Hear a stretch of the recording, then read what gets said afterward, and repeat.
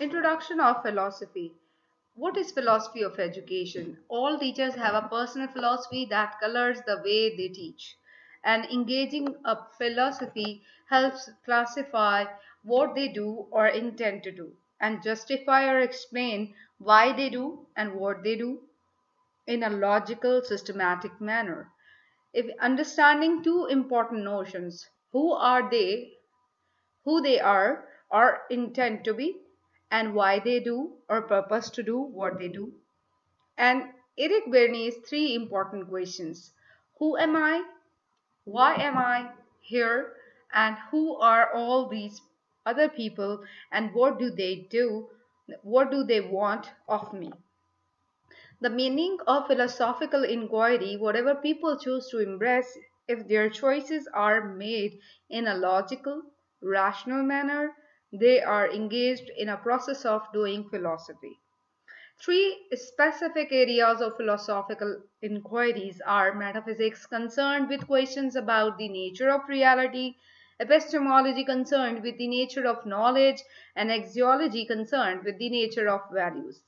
Particular philosophies of education, idealism, the first systematic philosophy in Western thought, Socrates and Plato, the Socratic method was dialogue and generic notions, philosophers often pose abstract questions that are not easily answered but are concerned with the search for truth. Word of matter in constant state of flux and senses are not to be trusted continually deceives us. Truth is perfect and eternal, but not found in the word of matter only through the mind. Five traditional philosophies are naturalism, a belief that the laws of nature govern life and individual goals are more important than societal goals. Idealism, a philosophical theory advocating that reality depends on the mind of ex for existence and truth is universal and absolute.